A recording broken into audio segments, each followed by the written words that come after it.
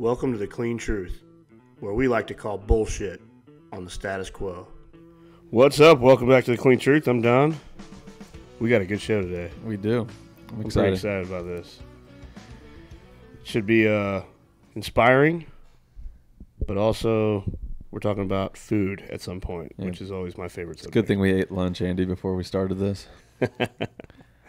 Before we get into that, though, we got to thank uh, Monster, Reign Energy, Brett Bauer.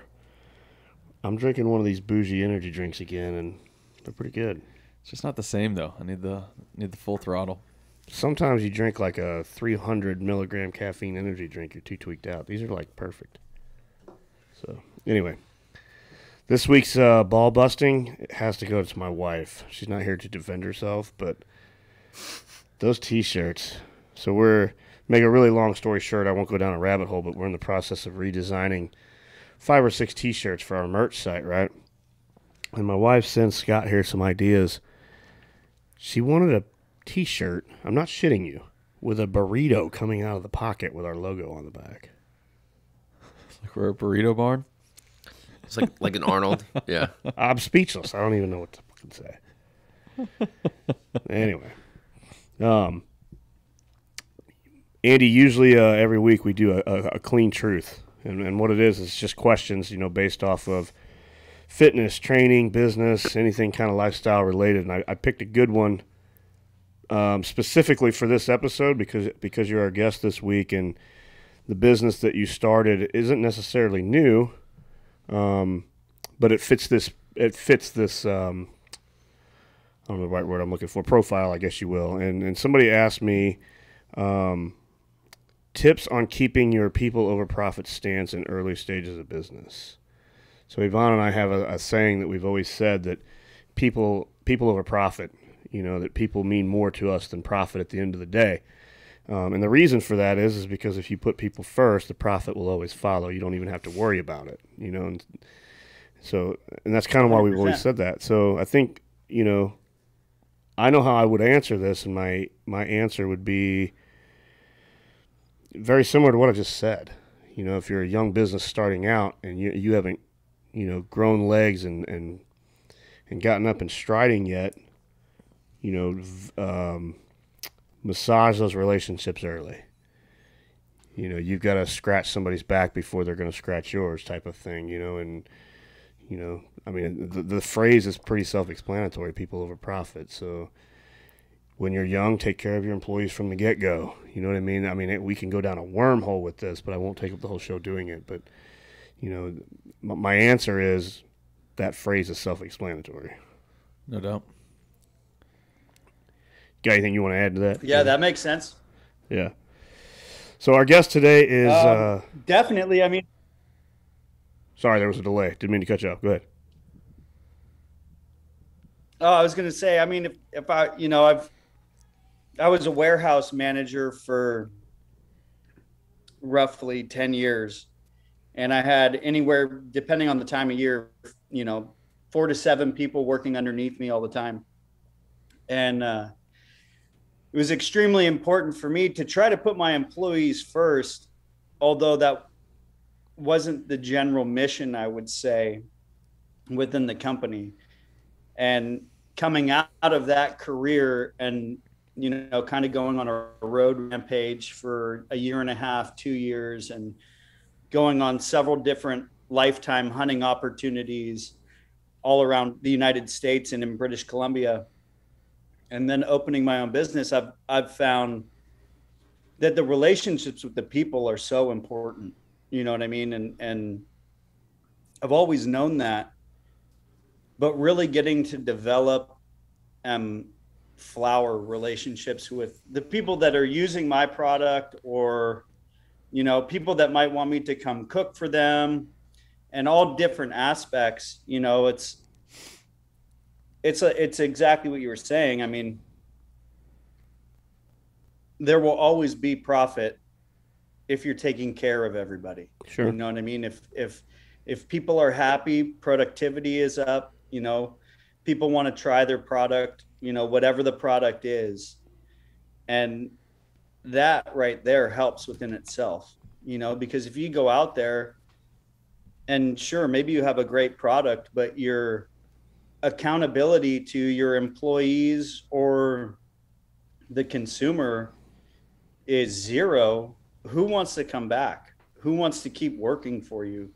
You know, when when the employees go out, do they want to say great things about the company they work for, or are they complaining and are they bitching and moaning? You know Yeah. what I mean? Great point.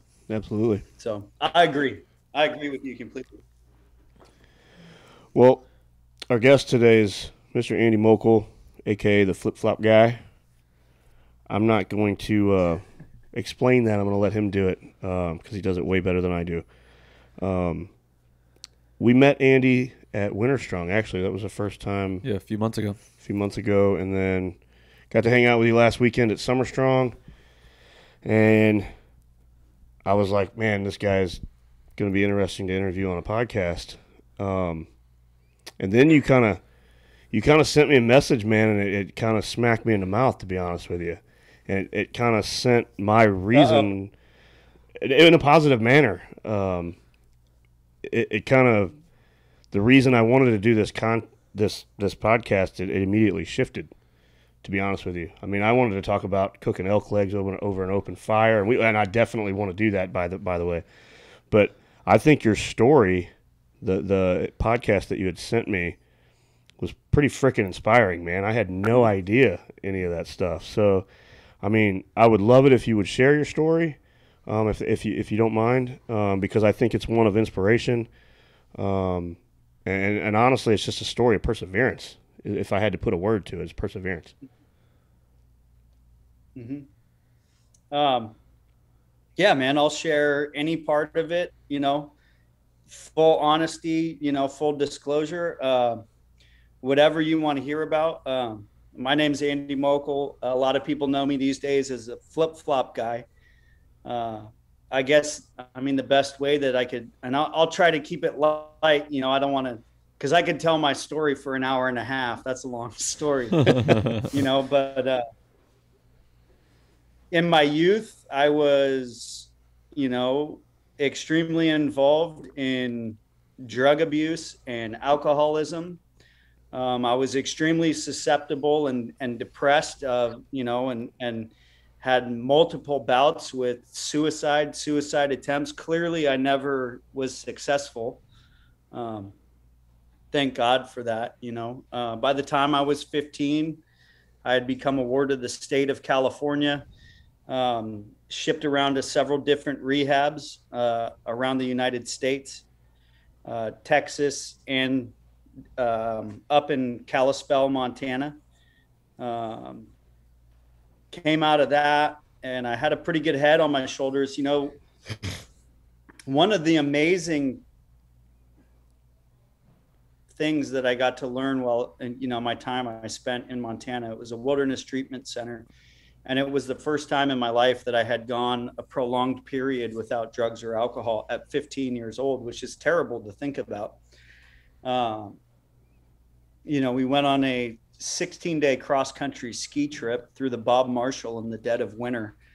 And on that 16 day uh, cross country ski trip, um, four days of that was spent inside a snow cave that I had built myself. It was a four day solo.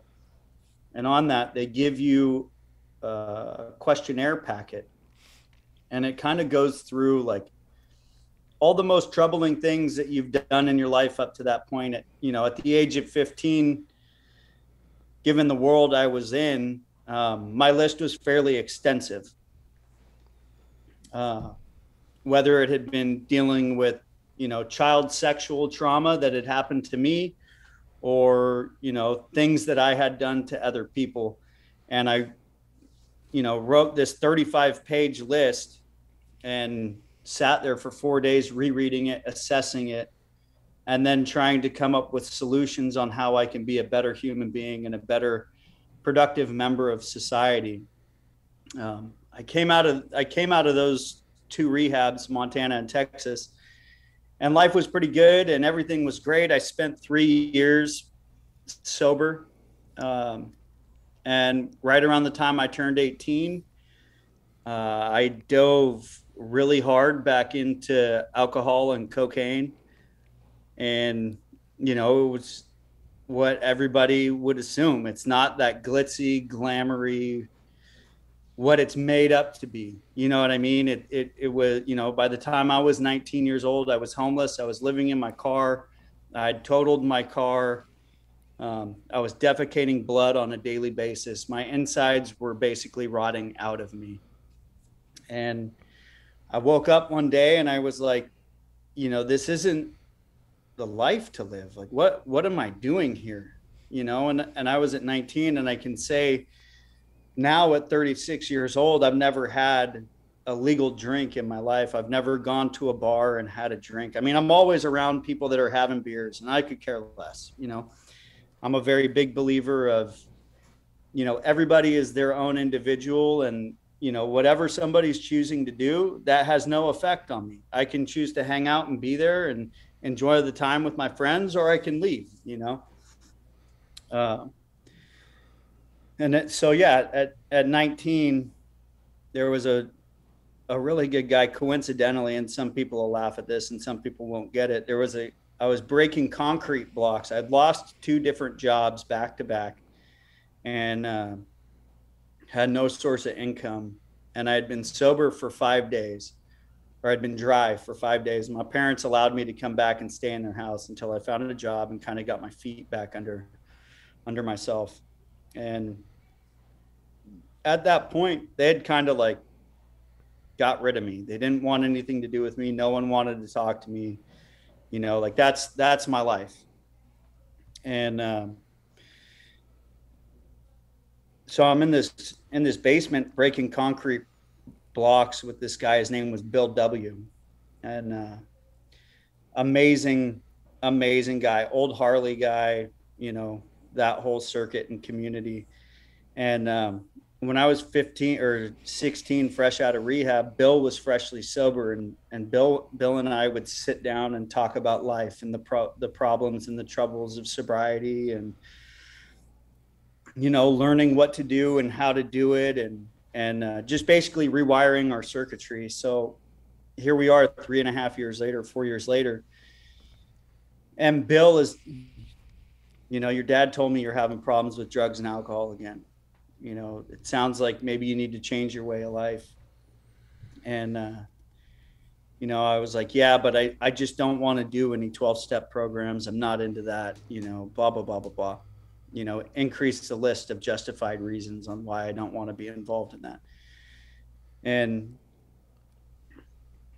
that night I went home and all I could hear was Bill's voice in my head and I ended up taking myself to a meeting that night, and uh, I've been sober ever since. You know, that was October seventeenth, two thousand and four. Um, six or uh, what was it? Six months? I think six months into sobriety, or eight months into sobriety. Uh, I was working on a job site. I had gotten a new job, you know, and, and I knew for me, when I got offered this job, if I drank, or if I did anything, there was absolutely no way that I was going to be accountable.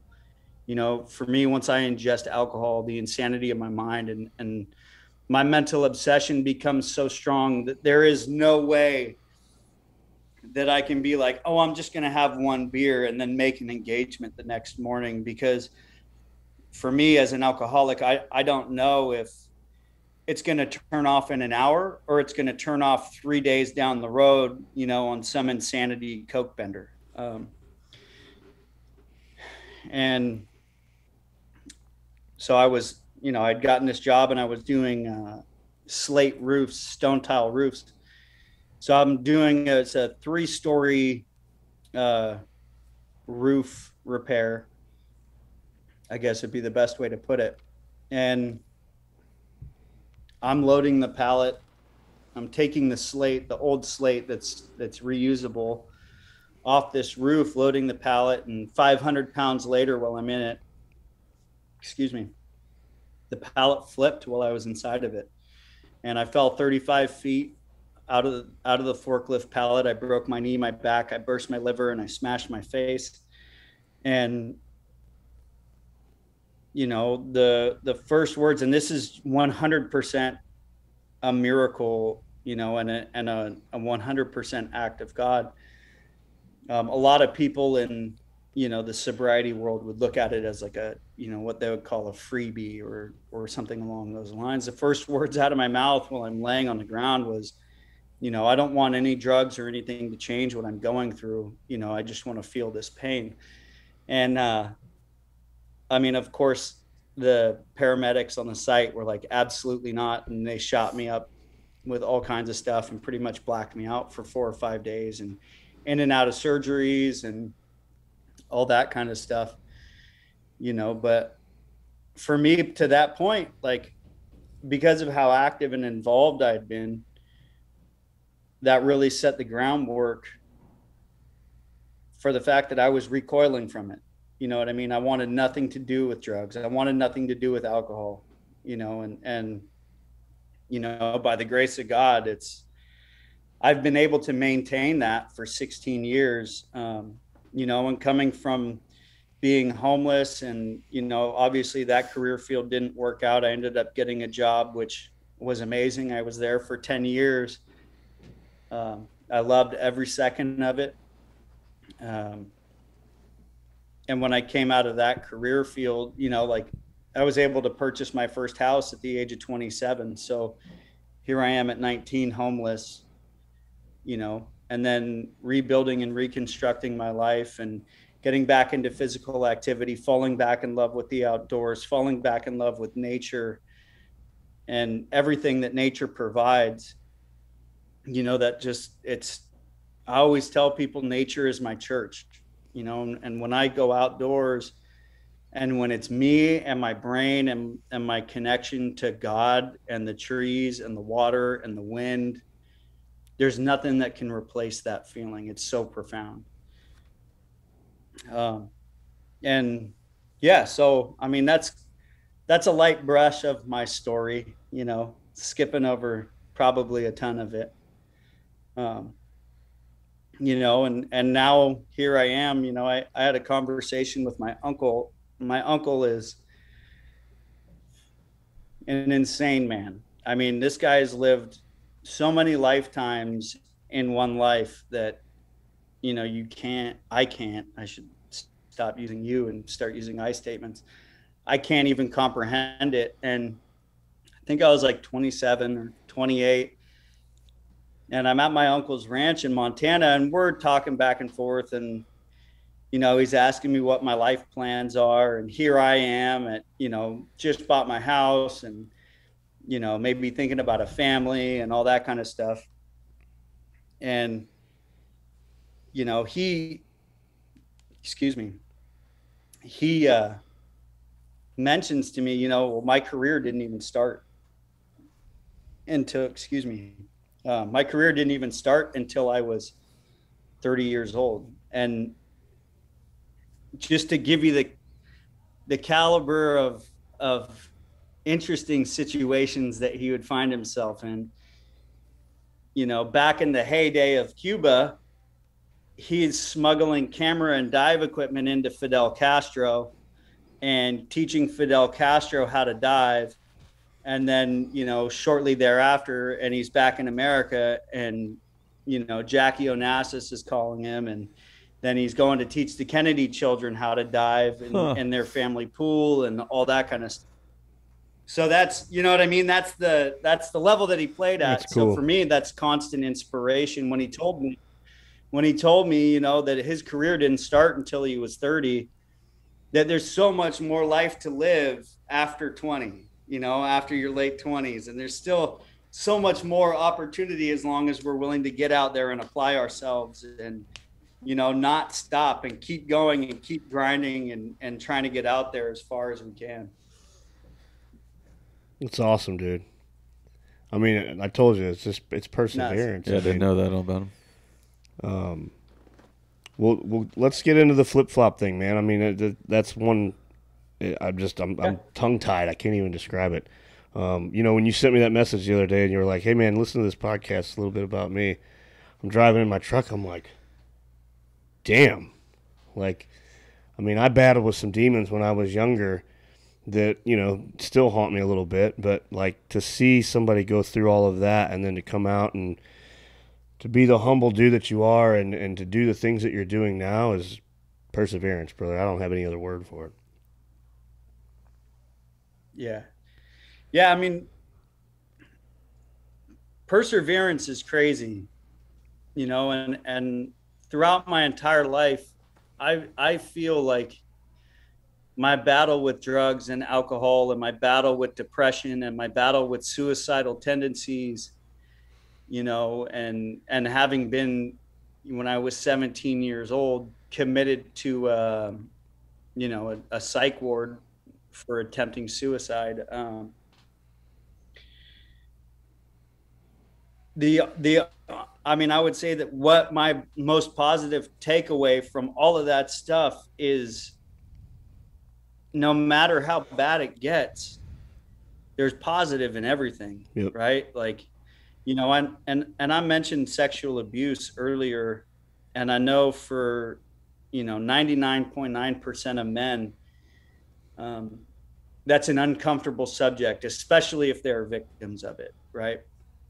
And for me, the you know, and and this is going to sound really weird to say, but the reward and the fact that that happened to me is the fact that other men privately for the last 16 years of my life have reached out to me after hearing my story and after hearing how I overcame it and knowing that it's possible to overcome it and it gives them the comfortability to be able to come back to that issue that maybe they've bottled up for you know 20 years 60 years 30 years whatever the case may be and and actually start to try to do that self work to get through it. Sure. You know and and so back to the perseverance like all all of that stuff that's happened there's positive that comes out of all of it. You know what i mean? And and i could sit here and i could focus on the negative and i can i can play the victim of i was a drug addict and i was homeless. I was sexually abused you know what I mean? I I was defecating blood like you know, I was an alcoholic.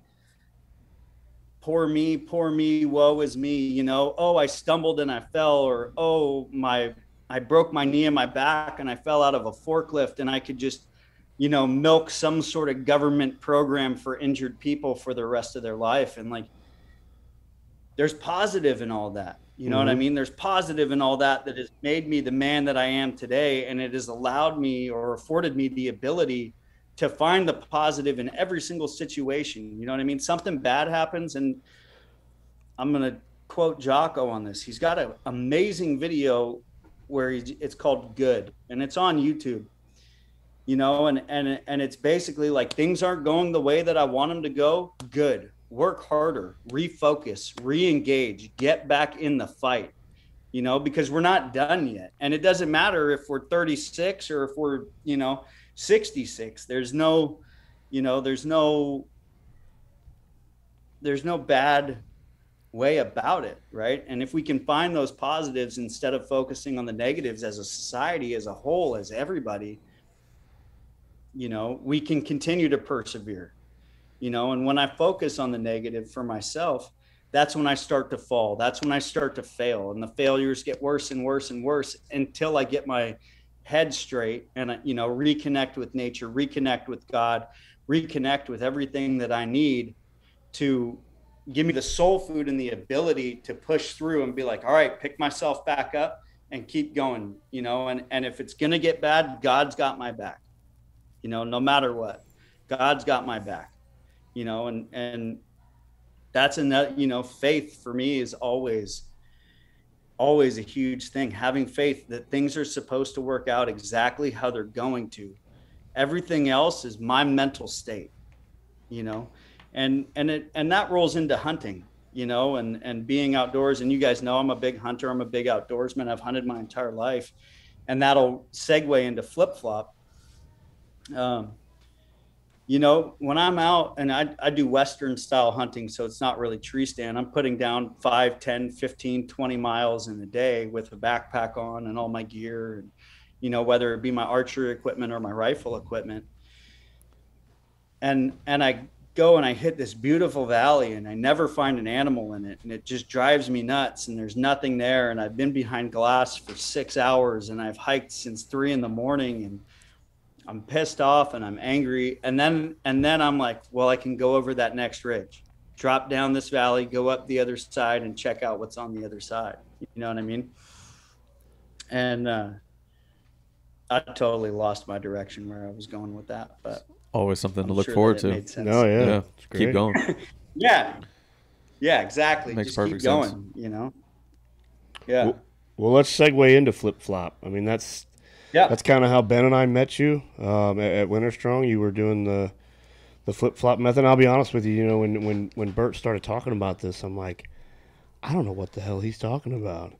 And then when I saw it, I'm like, oh, like I got a little excited, a little warm and fuzzy inside. Because let's let's face it, man, I'm a fat kid. I like to eat. I think it was I think it was eye opening to a lot of people. I mean, you Winter Strong had a lot of people from the outdoors and health and sports performance like field and when Andy when they decided like hey, it's good weather tonight, Andy's to do dinner, everybody was like, "Oh, damn, like what is this?" And then right. Here's here's nine raw deer legs. What are we gonna eat? Yeah. Like, they're not marinated, they're not they're not prepped, they're not cooked. You know, and it's so funny. So background on the flip flop. We're gonna dial it way back California. My family is fifth generation California, so we've been out there for over a century. We've been out there a long, long time. My grandfather was a fish and game warden in West Marin County. Now, everybody knows that West Marin, Marin County is not a hunting community. California is not hunting friendly, gun friendly, anything like that. In that era, it was extremely hunting friendly. Um, so, in the late 60s or in the late 50s, my grandfather was friends, being the game warden, he was friends with a bunch of the ranchers. And there was some sheep herders that were out there um, they were Portuguese. And these guys would gather around and they would cook up a lamb leg, uh, flip flop style, the flip flop cooking method. And my grandfather was like, man, this would be great to do with a venison leg. Excuse me again. I ate an apple and it is just making me burp. I apologize. I'm, I'll rip one here in a minute. Don't worry about it. Good, good. And so he started doing it and it kind of spread, you know, through the 60s, 70s, 80s, and, you know, into the 90s, I would say, around West Marin, West Sonoma County in California, among all the ranchers and the hunting community and all that. And what you do is you take the entire back leg of a deer, right? So if you're in the field and you're dressing out your deer, you know, you cut off around the knee, you keep that tendon there, you cut, you know, just a little bit below the back knee, break that bone off, and then skin it out all the way down. And if you're if your animal is on the ground, right? So I'm I'm speaking as if I'm in the field doing it because Sure. I usually break them down in the field and then put them in my backpack.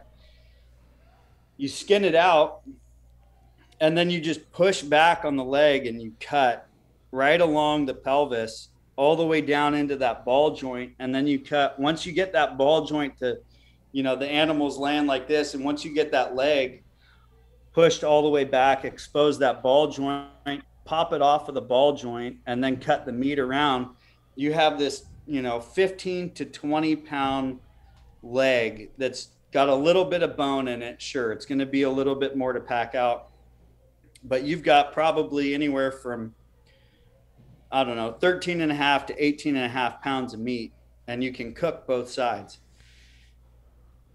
So you take that, and, you know, like I said, my grandfather started doing this with venison, and he came up with this amazing marinade, which we sell on our website. And Which is liquid gold, by the way, just for you. It is. We'll, we'll get It- into that. I'll tell everybody where to find it, or, or we can share that. It definitely is liquid gold. That is that is a fact. Um, at least I've been told that enough of my life to know that. Huh. I mean, there's a lot of hype behind it, and like when you see it, you're like, man, that looks great. But until you actually try Taste it, it. and Mm. had it, like you like it it outlives its hype. You know, you know, a thousand x. So, anyways, I'll usually take you know, five to 10 sprigs of rosemary, 18 inches long, wrap them up. And that's what I use as my mop instead of using just like a regular basting mop or something like that. Something about the rosemary is magic. It just brings the flavor life. And, uh, and dump them into a bowl. I'll refill both those bottles of sauce with either a cab or a Zinfandel, and I'll pour in the. I'll double it essentially is what I'm saying, and then I'll just kind of mix it around with my mop. I'll mop the top of the leg after you know I'll I'll shave off that top layer. Usually there's like a quarter inch of aged meat or something like that. I'll get that nice tender red meat exposed. I'll mop it on and I'll throw that side face down right? Now I've got charcoal two to three inches below this leg, and the charcoal's screaming at anywhere between 900 and 1100 degrees. So that side's cooking.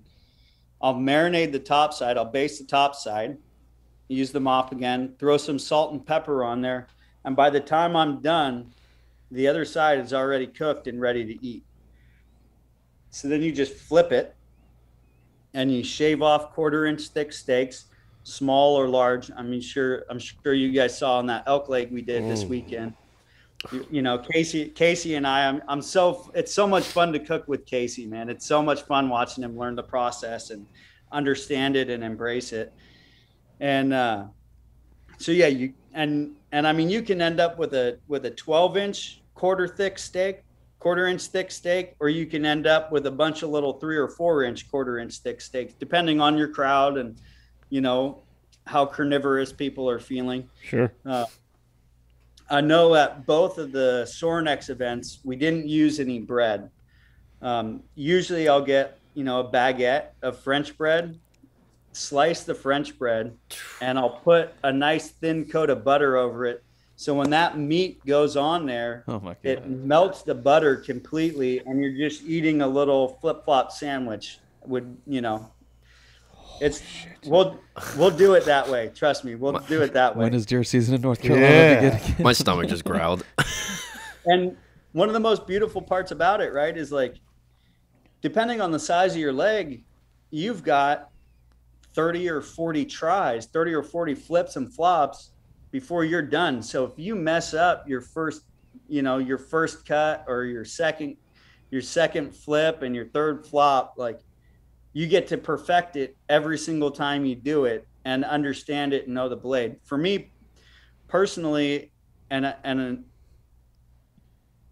uh, plenty of people that have tried this will probably back me up on this. Hands down, the best knife to use for this is a brisket slicer and a it keeps your hands out of the fire from burning your hands off. And b it does the most phenomenal cuts every single time you know and it just shaves the meat off perfectly. But at the same time i've been doing it for 11 years so i have a lot of experience and a lot of legs under my belt. Um, now the sauce right and you guys were saying the sauce is liquid gold. So anytime that i've done a flip flop my entire life, or my family's done a flip flop, we always make it from scratch, right? And it's a completely family protected recipe. I got the recipe from my dad on my 25th birthday as my birthday gift. Uh, pretty cool. And that was that That's was the awesome. first time. Yeah, that was the first time the leg and the blade were handed to me. Like, all right, man, this is your turn. Can I swear? Yeah, absolutely. Okay. Um, my dad's like, all right, here's the leg, here's the blade don't fuck it up. and, and for me, that's like at that day was, and I had, I don't know, 75 people coming over. We had 100 pounds of elk burger. We had, uh, I think we had eight abalones that we had sliced up that morning that we went out diving for. So everybody that came, you know, you're eating uh, halibut, you're eating sam- smoked salmon that we've caught and smoked ourselves, you're eating abalone that we dove and you're eating deer legs that we went out and killed.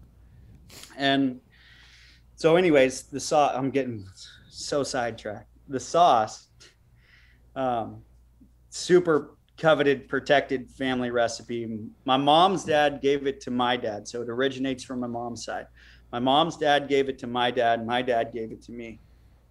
Um, and usually when we would put together, you know, a bowl of sauce to do a leg, for us when we're doing it, you know, we're looking at anywhere between 80 and 120 dollars for a bowl of sauce for one leg. Now, when you're feeding anywhere from you know 30 to 70 people, it makes sense. You know, it's it's understandable the cost. Right. And it's funny because people will scoff kind of they'll see the bottle and they'll see the price on the website and they'll be like man this is 19.99 you know why do i want to buy a 12 ounce bottle of sauce at 19.99 well every bottle of sauce is worth two. Now the biggest problem that i ran into in production with this which took me three years to actually get the recipe correct and every time they were mixing it they're vat mixing it right? And then they would fill each bottle and then the bottles wouldn't taste right. And every bottle would have a different amount of everything in it because it's so thick that you can't just get that sludge to come out correctly. Um, and finally i got to the point where i was i was talking to my facility and i was like look this is what i want you to do. Here's the breakdown for 12 ounces. I want you to hand fill every single bottle and then send me that. And they hand filled it and sent it to me and the bottle was 100% perfect. And i was I like it it was better than my expectations. So that's kind of why the price is so high is every single bottle is hand filled one at a time by a person you know and and when i'm getting you know when i get into you know 500 bottles in a month sold you know that's 500 bottles individually hand filled all the way down the line so That's I've, cool. I didn't know that. yeah. So, well, so so I've tried to, and I've tried to create it a little bit more affordable, right? So when someone's doing a leg, it's forty dollars, you know, plus a five ninety nine bottle of Cab or Zinfandel that they're cutting it with, instead of it being eighty or one hundred and twenty dollars like it was like it is when we're making it from scratch and and doing it with the family and all that. Wow. That's awesome. I didn't know that. Yeah. I didn't know every bottle was filled. I, I mean, I think I had maybe six or seven, eight bottles of it. I think I told you at Summer Strong. I'm down. I got to re up my orders, man. I'm down to like two. Yeah, I I, think- just used my last one the other day with my mother-in-law. That's that's awesome. And Talk put- talk about the. Uh, so you have there's two different flavors of the sauce, and then you have the the olive uh, oil. the olive oil, which is phenomenal. It's awesome. Yeah. So the, the rosemary infused olive oil. I wanted to come up with that because everybody can't always find rosemary. Everybody can't always find sprigs, right? Um, and I think the flavor of rosemary is so robust and delicious. It goes really well. It, it, it complements almost any food really Mhm. well, whether it be seafood or, you Even know, potatoes. wild. Yeah, potatoes. You know, and, and that's actually something that's been really neat watching the evolution, you know, because I'm I started selling bottles September 11th. So I'm I'm only 8 months into the game or whatever. And watching the the different ways that people like uh, one of my good buddies, Jeff, um, big time skateboarder, real awesome guy. Him and his family love the rosemary olive oil on their uh, waffles in the morning, right? So they use that as a syrup substitute Ooh, and the kids love it. It's it's healthy, it's nutritious. You know what I mean? They're enjoying it. So I'm not going to complain about that, you know. But like, I've seen so many different ways of everything being used. So I have the rosemary infused olive oil, which every time I make a bowl of sauce uh, and I'm going to do a deer leg, I'll pour about a quarter a quarter bottle of that rosemary infused olive oil into the sauce and mix it around. Um, I've got the spicy. So the spicy is the exact same recipe that's my favorite one, by the way. as the private reserve. Um, but I added a little bit of heat to it. Now, when I did that, my flavor palate is Dave's Insanity sauce, right? Huh. And I don't know if you've ever had Dave's Insanity sauce. I've heard of it. you know and that was not the direction i wanted to go with the spicy reserve i really wanted people to try it on chicken wings i really wanted it on shrimp um, you know brussels sprouts asparagus, broccoli, mix it in with some rice. And I feel like the amount of heat and flavor, like the heat doesn't over overwhelm anything. You still get the full range and and the robust flavor of the sauce, but you also get that added heat. And what for me, when I created it, we were tr- we were testing it out on tomahawk steaks, right? So because you can go to the grocery store for people that don't hunt, you can go to the grocery store get a four and a half five pound tomahawk, and you can flip flop a tomahawk all day long, you know, and you just cut off quarter inch thick steaks. Exact same method, everything's the same, and you can feed, you know, uh, probably like five people with it, and anyways, the amount of spice when I nailed it, I was like, wow. And I just kind of became addicted to that level of heat because it's not too much, it's not too little, it's there, it's subtle, and it stays with you, but in a really good way, Sure. you know? So the so the original homemade was a little bit spicier. That's is what you're saying. No, Or the just- original. Go ahead. The, the the original homemade is the private reserve, which Okay. has no spice in it whatsoever. I created the spicy on top of it just because I'm a spice guy. I like spice, but I also, you know, I'm not trying to come out with ten thousand different flavors and all types of different dry rubs and Yeah, and all that to. kind of stuff. Yeah, I don't really need to. You know what I mean? I, and and I feel like the salt because I have the pink Himalayan sea salt, the coarse the coarse ground pepper, and basically what I want is people to be able to be like, all right, I've seen the flip flop, I've seen the video, I've heard how to do it, you know. And when you get an order, you get a card in it that explains how to do it. Um, and that way they're they're kind of comfortable. They have everything they need in in a one stop shop. They don't have to go buy anything extra or anything like that. Yeah. Um, I've been Yeah. using Which is very cool, by the way. That's Yeah. awesome. I've been using the pepper like all the time. Yeah. Like uh, my We used it last mother-in-law is didn't we? Puerto Rican, and when she came to town from a new baby, I was like, I was like, Wanda, you got to try this freaking pepper. I was like, you don't got to be, you know, shaking the salt shaker forever to get some kind of like flavor. I'm like, put a little of this on, and she was blown away. Like the pepper's become one of my favorite things too for like daily use because Yeah. I like spicy too, and it's pretty hot. We used it last So- night at dinner. Yeah. and and with the sauce too um one one way that i've found to use it right like i've marinated stuff in it uh it tastes really good i'm not a big fan of marinating with it um so what i've found and what i've been doing is is i'll take a a ribeye or or a wagyu steak of some kind something like that I'll put some salt and some pepper on it and I'll let it sweat for an hour or two. And then I'll start cooking it like I'd normally cook any steak. And then at the end, when I'm finishing it off, I'll turn that heat on real high and I'll do a, a nice little brush of the marinade right at the end. And I mean, when I'm just doing a steak, I only need an ounce of marinade and an ounce of wine to be able to make it happen. And uh, I'll just hit it, I'll blaze it real fast and then take it off. And it's, you know, absolutely delicious. Or using it as a dipping sauce as well. That's awesome. Yeah. I've, uh, Have you marinated with yours? hmm Yeah, me too. So the Just because it was think easy. of, I just uh, tried. I just dumped it in yeah. a Ziploc bag, and I was yeah, like, I mean, "Let- I've let's played see, around with it. Let's see what this tastes like. I, I've done a few different things. I've done venison steaks from the deer meat I had. We've done, you know, T-bones and ribeyes. I've kind of done what you said, put it in a bag and shook it up. I've pl- I've played around with it a few different ways. I want to try the vegetables. Um so, are you are you baking the vegetables? Yeah. and then drizzling it across, like a Yeah, balsamic so- kind of thing.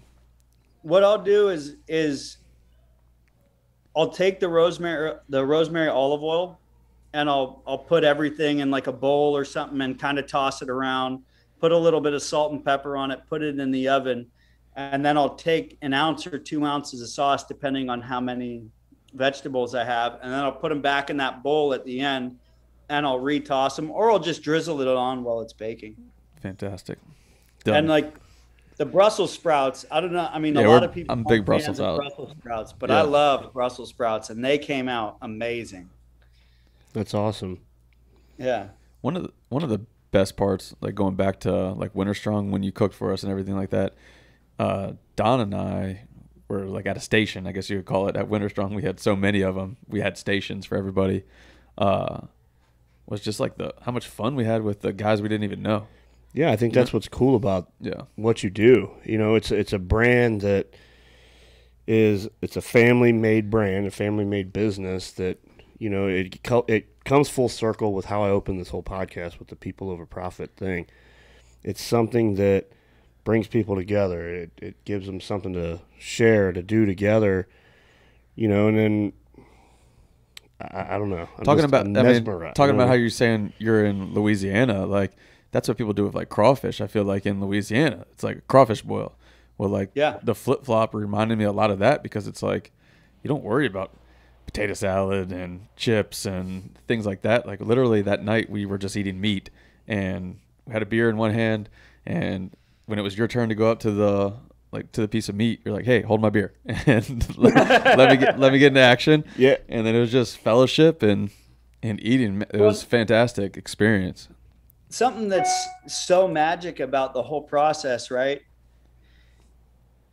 You got somebody, and it doesn't matter whether it's me or anybody else doing it. You know, it, this is a process for everybody to try and everybody to share with their family and friends, right?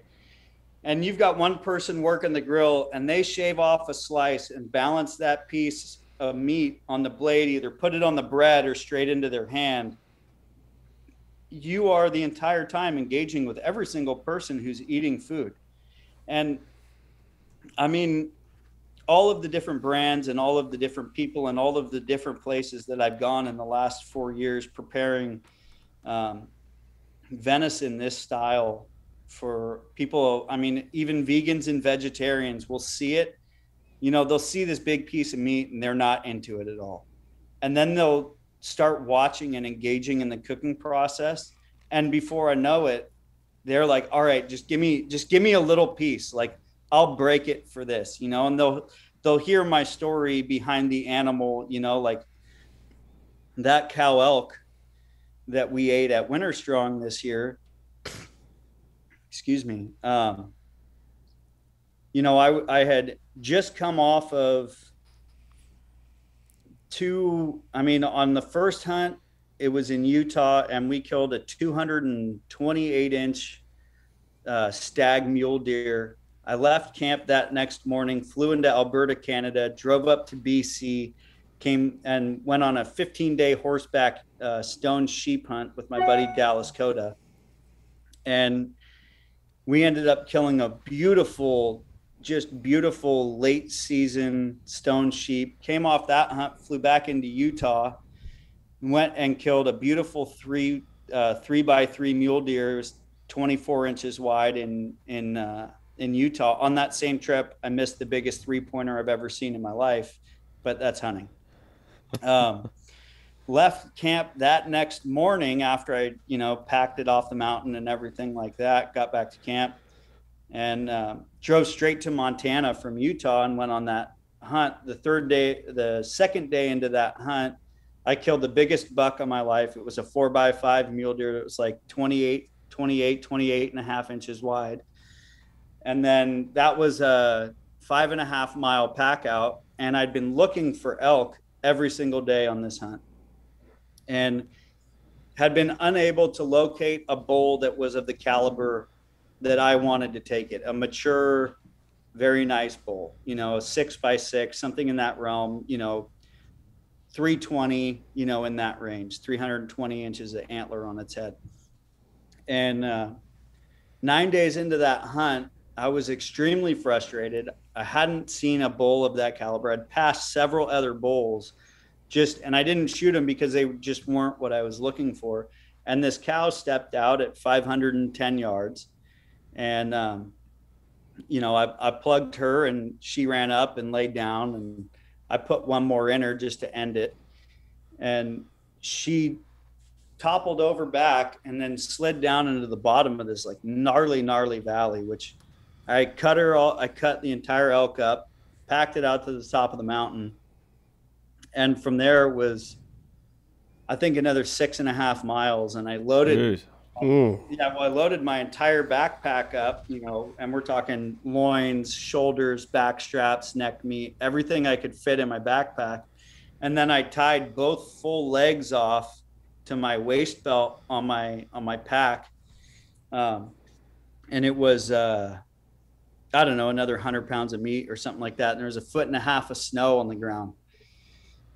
And took off and I packed out the entire elk on my back. And then, you know, here we were a year and a half later at Winter Strong getting to share that story and the success of that hunt.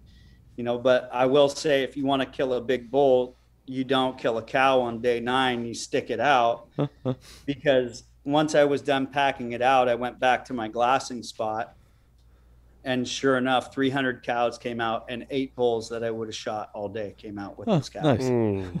where I was hunting. Well, I think the thing that but that's just hunting. Yeah. the, the thing that a lot of the, the listeners of our show aren't going to understand is the extremities of what it took you to do what you just said you did.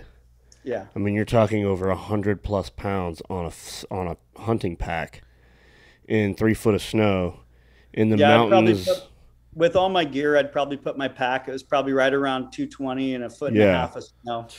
At what elevation though? Probably eight thousand. Uh, I started at 8,000, and when I got back to my truck, I was probably right around um, 6,500 or 5,500.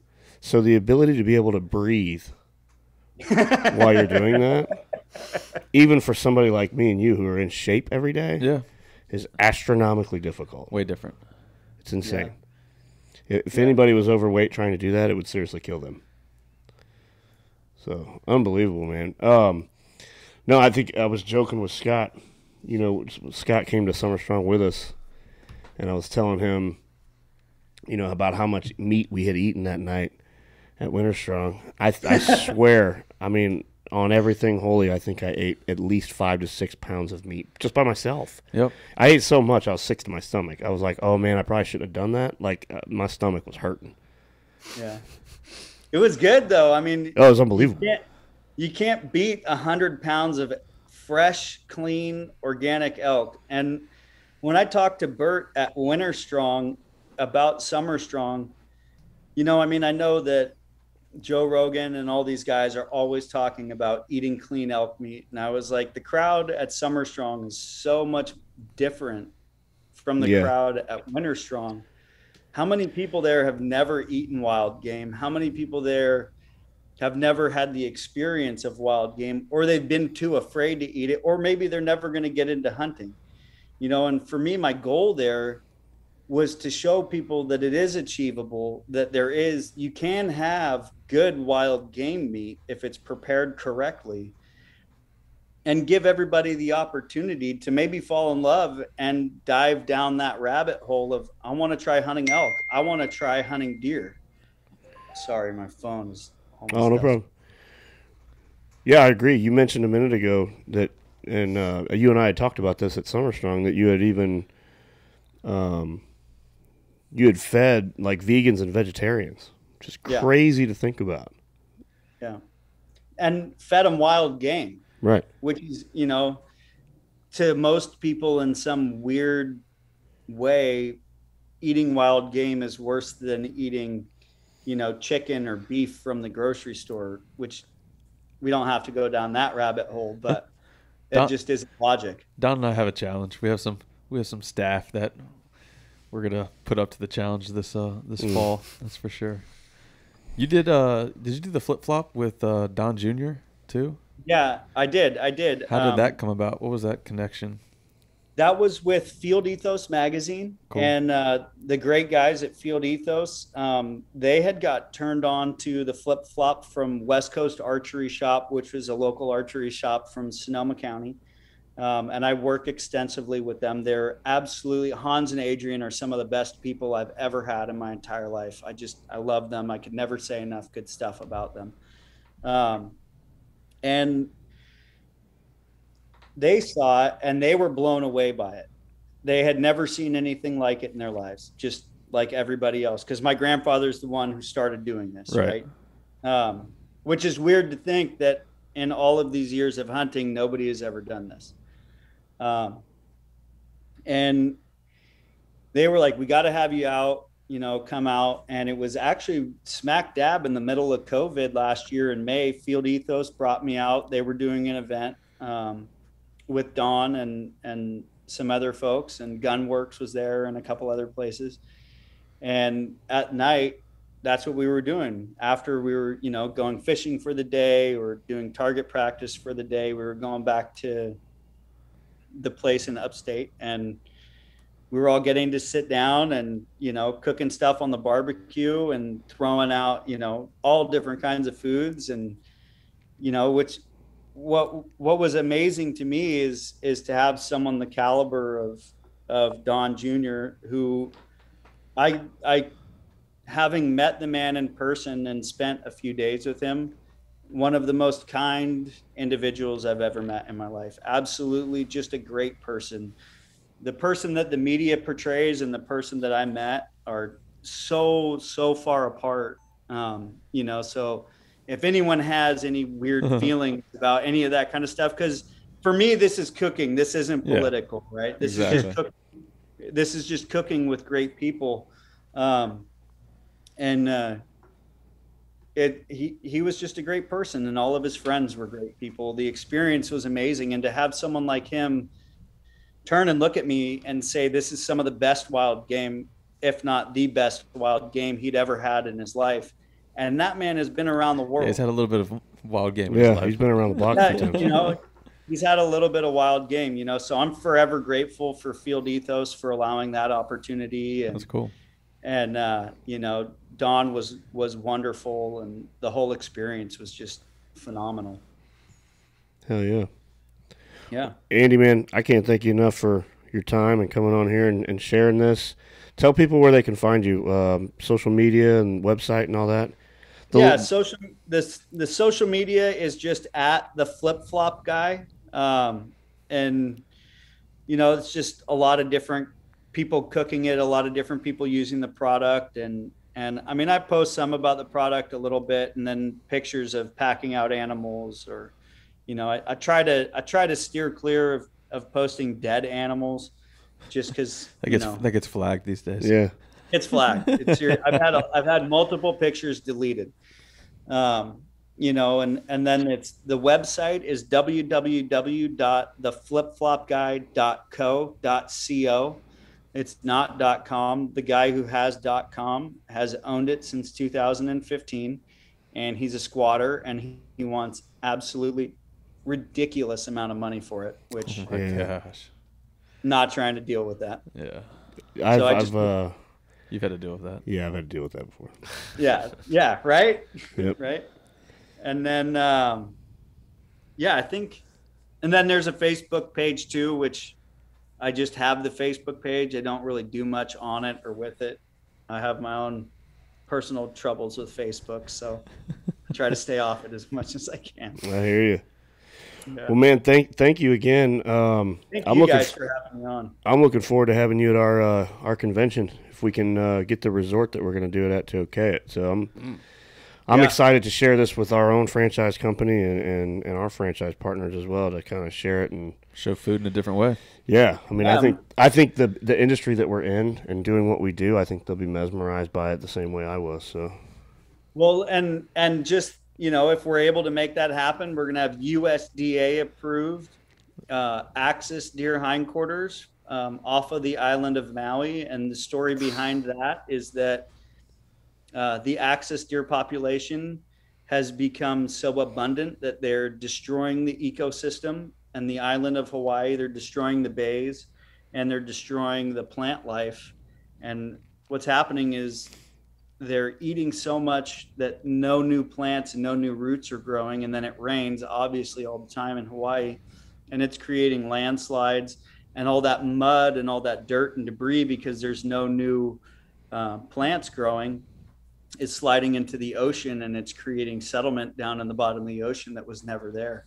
And it's an invasive species. So, you know, there's a there's a company out there. They're called Maui Nui, and and they go out and they regulate the wildlife, and they have a USDA officer there with them, and they do a step-by-step process make sure everything is ethical make sure it's not slaughterhouse killing or anything like that Sure. i mean i would say that their operation is the most ethical operation i've ever seen as far as usda meat is is concerned it's pretty amazing That's awesome. Sweet. yeah well Man. thank you guys so much for having me come on I no, can't of course. appre- This you was know, awesome.